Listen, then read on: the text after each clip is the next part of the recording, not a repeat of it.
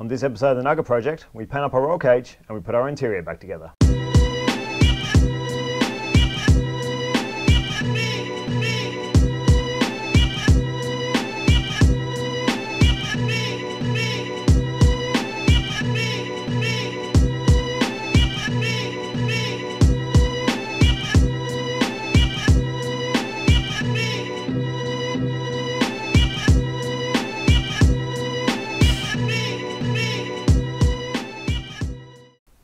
Alrighty gang, so we've got a big day ahead. Uh, first off, we're going to take out the seat, the steering wheel and move all the cables and everything we need to.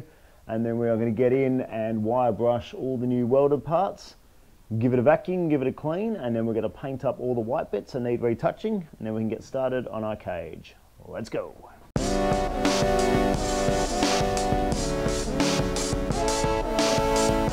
Okay, here's where we're up to. I've done a terrible but acceptable job of uh, respraying this all white and it looks a lot better. Um, sprayed the, the boxes that the roll cage sits on in all corners.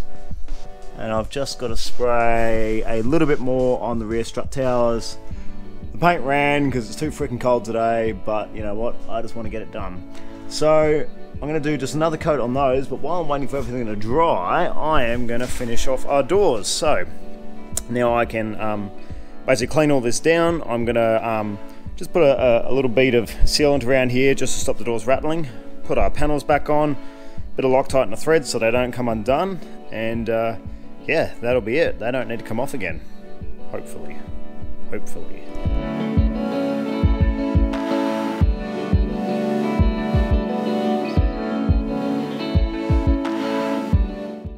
Huzzah! Door is back together. We've got our winder on, our uh, handle and uh, little pull handle and all the screws are Loctited in so they're not going to rattle out and I've just put that beta silicon the sheet behind there just to stop the panel rattling so much and give it a bit of weatherproofing for the water coming through.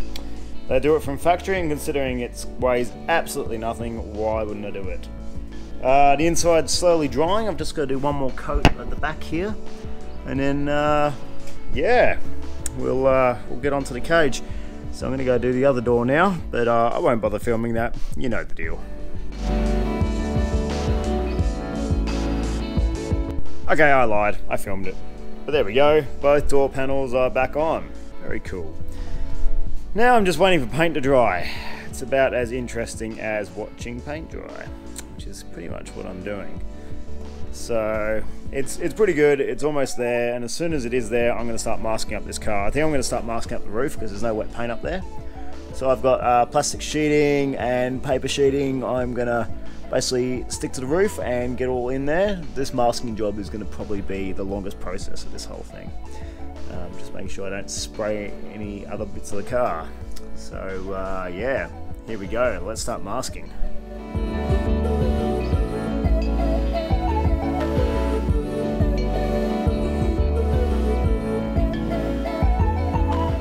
Okay, masking up the interior of a car to paint a roll cage is now my new least favourite thing. Um, that was pretty, it's so freaking time consuming. Look at the roof. So much paper and freaking tape. Anyway, I think we've pretty much got it all covered now. I've got drop sheets on the ground. Um, I'm going to use a bit of cardboard behind some of the bits for when I'm spraying. I'm um, just trying to get some of this off of the cage. Uh, I've just got to mask up the bottom where they join the boxes. I've already done that side. Um, got these other ones, and then I'm just gonna start spraying and see what happens. Come along on my journey. Okay, so a couple of things. Firstly, I guess the cat's out the bag with what colour I'm doing this cage. I'm going pretty wild. Now, this is a learn from my mistake style situation. So, I painted the cage, I went through about a can and a half, and then I realised the paint is just way too light and it just wasn't covering enough. I would have had to have done like 30 cans to cover everything properly, so I thought, screw it. I got a uh, can of uh, Etch Primer once it had dried, and I've gone over the whole thing with uh, Etch Primer, which should give us a nice even base to paint on.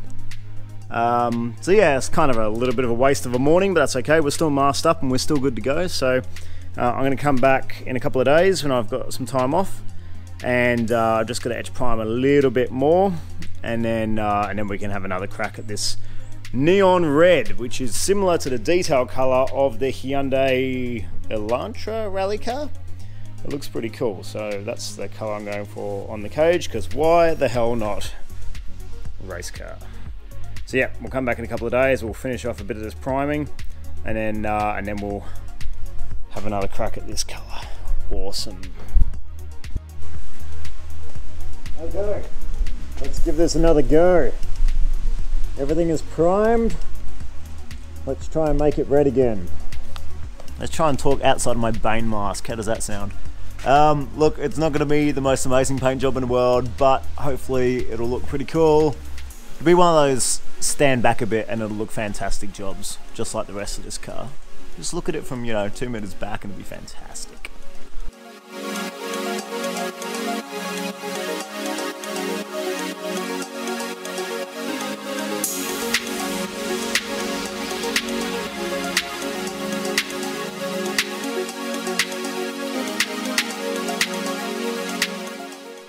Did I mention I hate painting? Okay, so I've done quite a few coats on this now.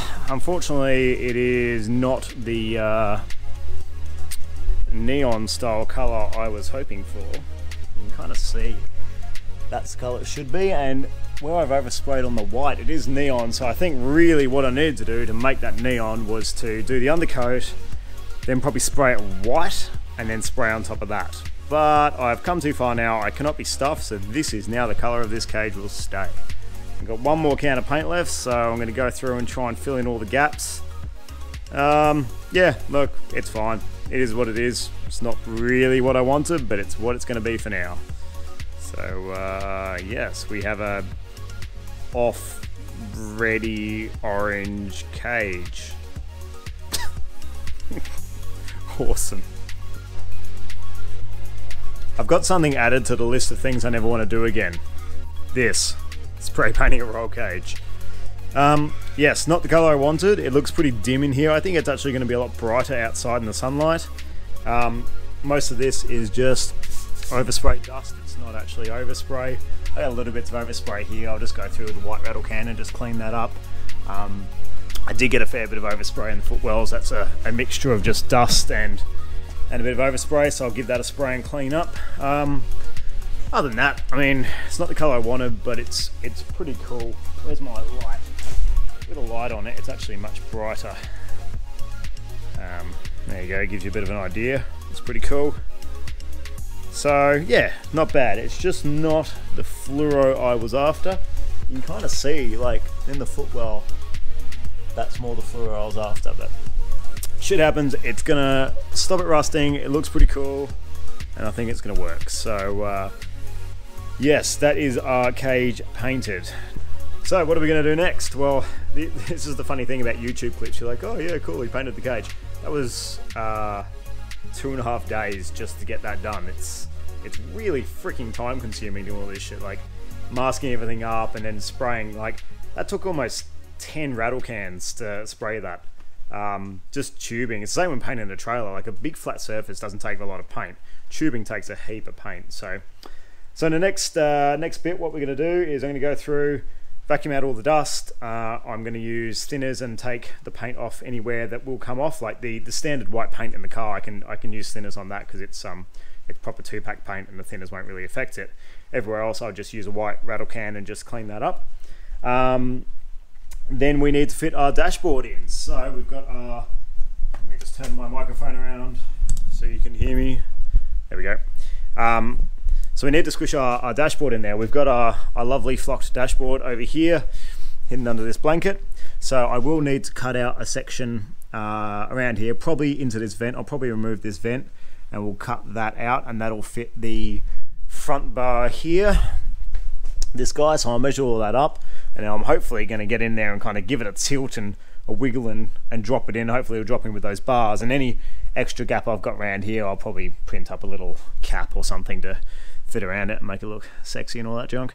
Um, and then yeah, and then once that's in, it's it's a matter of just fitting everything else in, which is awesome. I can put all my um, control panels back in. We can fit our gauges, uh, fit the the monster, the monster tacho, the Paul Walker style monster tacho. We haven't put in there yet. Um, and pretty much finish off the interior. I've got my um, harness coming in the mail. Should be here either tomorrow, oh, sorry, today or tomorrow from uh, our friends over at Luxe Performance. Absolute legends of guys. Honestly, look them up. I'm going to put the their uh, link in the details. Check out their stuff. They've got a lot of cool stuff for the Excels. Um, and definitely worth supporting them because they support me. You know, they've helped me out with um, with a bunch of stuff. I got my my racing boots from them, um, and yeah, now the harness, and, and I supplied them with some brake ducts that they help out the the fellow Excel racers in in Perth with, which is really cool. So they're a great bunch of guys. They've invited me to come over and have a burn of their cars and come and have a play with them one day. So when money's better, I think I'll jump on a plane and, and go and hang out with them because they're legends. Alrighty. Anyway, let's stop jabbering. Let's uh, we'll come back another day, same video, another day, and we'll get this interior finished. Alrighty, gang. It's been a couple of days and we're back.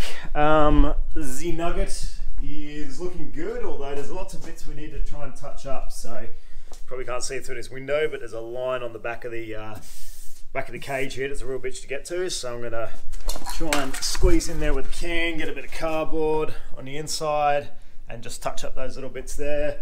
Um, same through the windscreen, just along here. Gonna try and get those bits and touch up a little few bits I stuffed up on the frame. So we'll get that done, and then we can clean up all this um, paint dust and clean off all the bits on the white and all the fun stuff. So let's get cracking.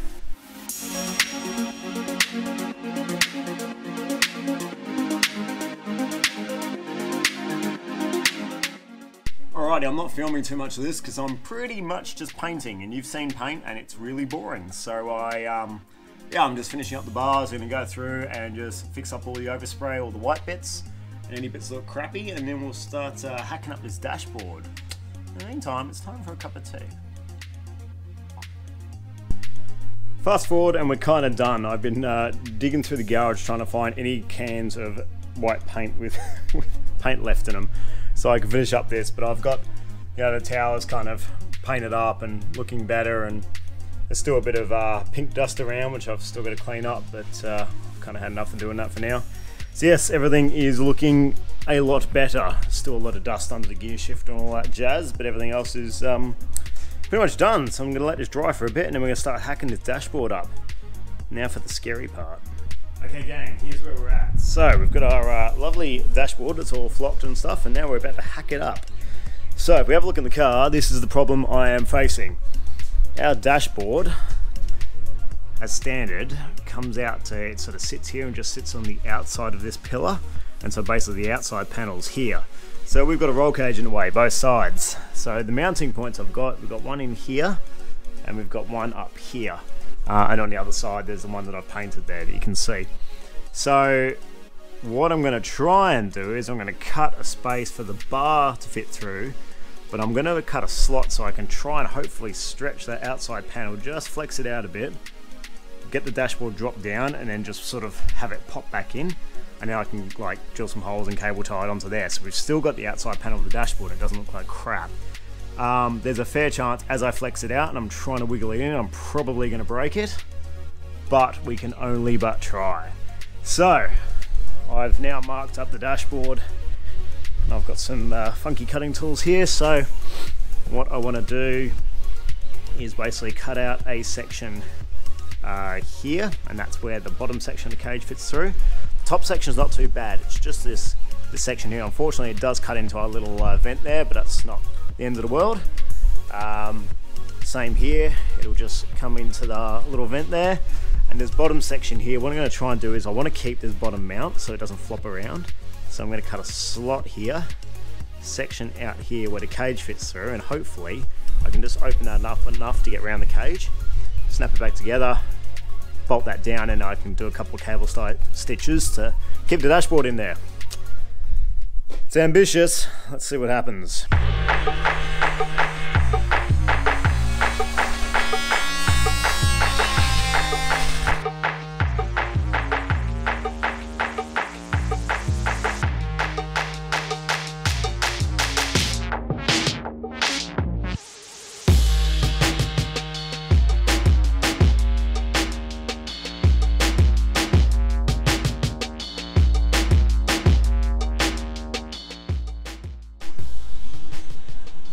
Ladies and gentlemen, welcome to my freaking nightmare. So, we got the dashboard in with uh, an immense amount of scratching on the cage, which was always going to happen.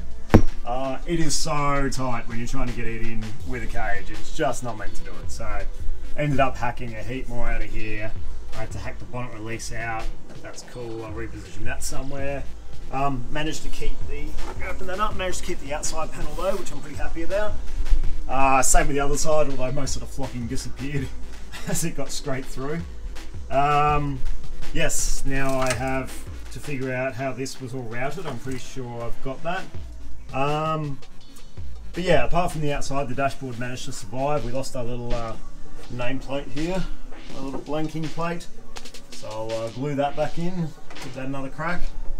Um, yeah, look, it was always going to scratch the shit out of the cage, but we did the best we could with the tools we had. So now I'm going to rethread all this uh, cabling through, and then I can uh, bolt it in.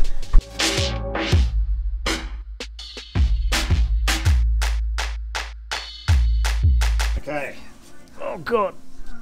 Alright, the wires are somewhat where they're supposed to be now. I've got the gauge cluster wires, all the other shits over here.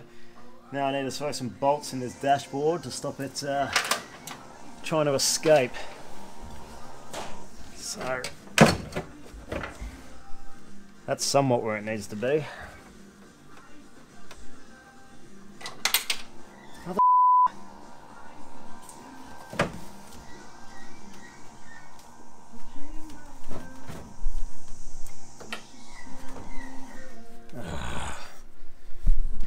Yes, I just dropped a bolt down the back of the dashboard.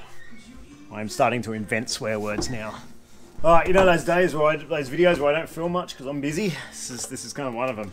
So I got the dashboard back in. That side was an absolute pain in the ass. Holes didn't line up, cage is just pulling it everywhere. Anyway, managed to get it in. Um, I've got all the bolts in for the dashboard and it is in there really good and tight. Thank God. So now we are putting our gauge cluster back in. I've got all the cables run. Uh, I've got our speedo mount in there, which should be fine. I was apparently supposed to put that in before I locked the dash down, but I didn't, so I had to get creative with that one. And in theory, I should just be able to plug all this crap back in, and our dashboard will work. Um, if it doesn't, I don't care. Got some Elton John going in the background. He's coming to Australia, down the green apparently. Good for you, Elton. Alrighty.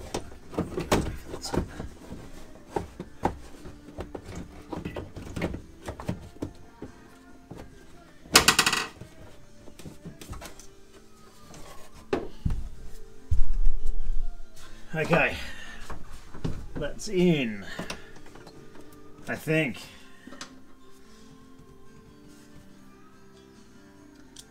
By the way, the uh, Elton John song playing in the radio at the moment is uh, Tiny Dancer, which uh, I always thought was Hold Me Closer, Tiny Dancer. No?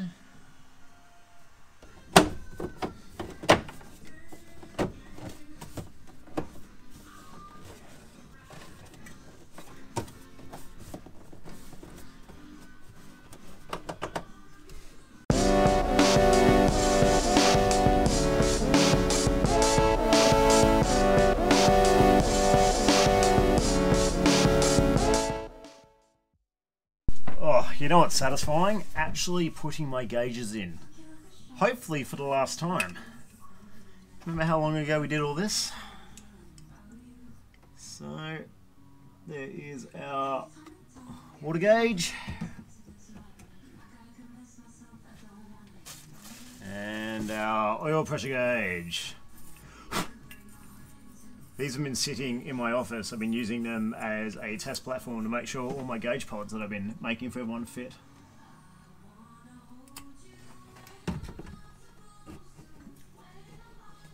Oh, let those new gauge endorphins run through you. How good is that? Much excited. Now, the thing we do have, a Paul Walker Monster Taco. Taco? Do we get through this? Taco, taco?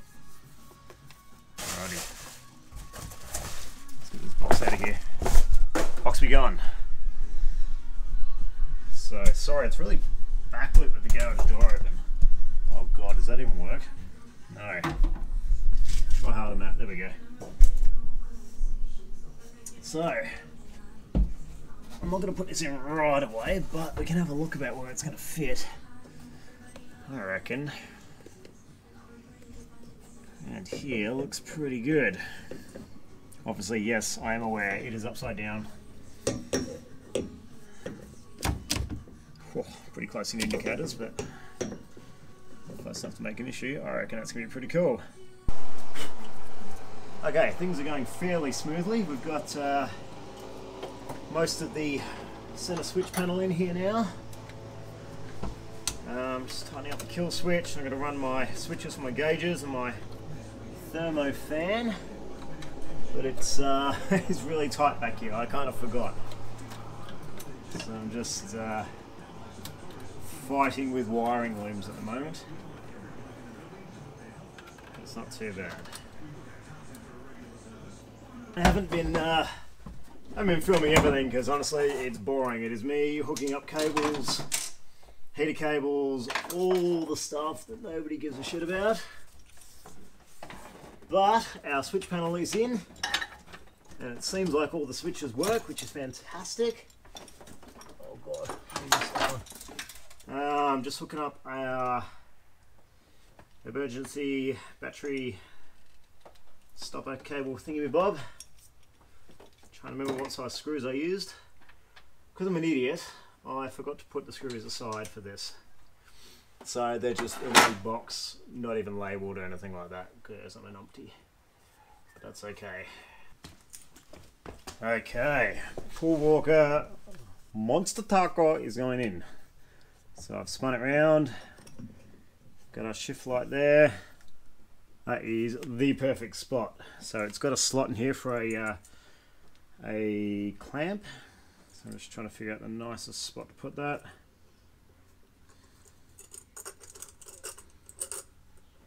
I'll hide the clamp up here. Can still access it, but it's not in the way.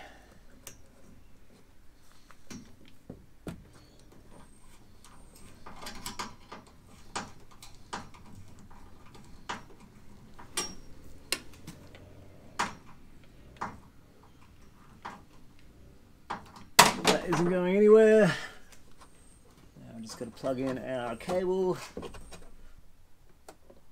Oh my god. Go in the hole. The hole is your home. You're good for your home.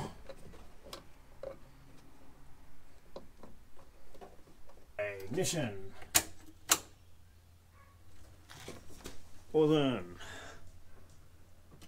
Gauges. Gauge lights. Nice. I'm going to change the colour of the other gauges.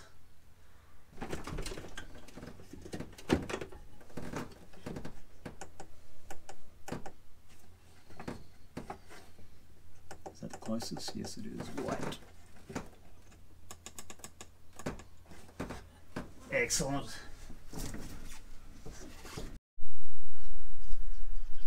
Alrighty, and there we have it, guys. I am done for today. So uh, my battery died while I was filming that, but yep, the uh, the cable's all tied down. We've got a bit of loose cable up the front there, which I don't think I need, so I'm going to chop all that back. Um, our dashboard is in, our gauges are in. Uh, I need to fix up where we scratched up the, the, uh, the roll cage putting it in, which was to be expected. The other side is much worse.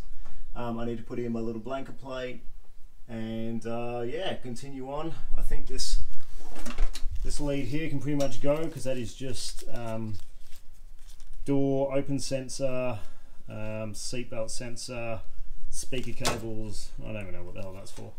But the car works without it, so once I confirm that's what it is, I'm going to get rid of that. Um, a few other little cables down here to just tuck away and secure, but apart from that, dashboard is done. I am pretty stoked. So I was pretty over that today. Alrighty gang, thanks for watching. Um, sorry that was a bit of a haphazard episode, like nothing really flowed well and I really just wanted to get it done and I sort of was running out of time and the paint wasn't working. But I think the cage looks pretty cool. The dashboard looks sick in there.